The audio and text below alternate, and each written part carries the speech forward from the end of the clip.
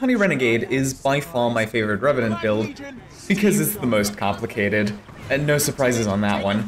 But that aside, in my opinion, it really shows off some of the potential for some of the more interesting aspects of Revenant, using legend swaps and weapons in tandem while finding little synergies between the two, enabled by not being stuck on Sword Sword and Shiro. God, Assassin Stance needs a rework.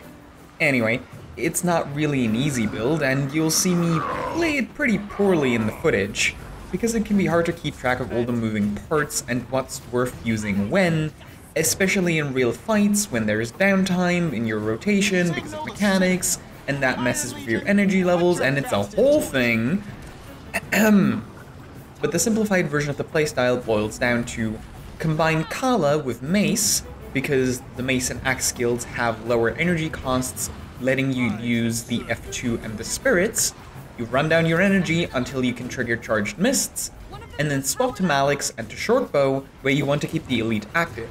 During that time, you use the Shortbow skills and auto attack plenty of times, because those autos are a really good way to ensure that the Elite pulses as often as possible. That's still kind of a lot to keep track of, and it's not incredibly intuitive, but thinking of the legends and the weapons as one unified combo can save you a lot of headaches while you're getting the hang of this. Your survivability is a bit eh.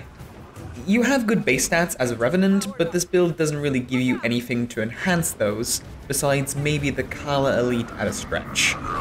Your utility is similarly a bit meh, You've got good CC and a boon strip, and Mallyx does have a pull, but the range is really short. And you can kinda help out with boons, but without boon duration, you're not doing a ton. Condi Ren also really hates changing legends. It's usually worth more to just swap out to a power build entirely than to try and fit Jalis or Ventari into this for utility purposes. So yeah, if nothing else, I think this build is cool it tends to be a lot more involved and active than other versions of Revenant, and provides you with the unique benefit of actually having a useful ranged weapon. But it's also harder to pick up and doesn't easily slot an extra utility as other Revenant builds might. So yeah,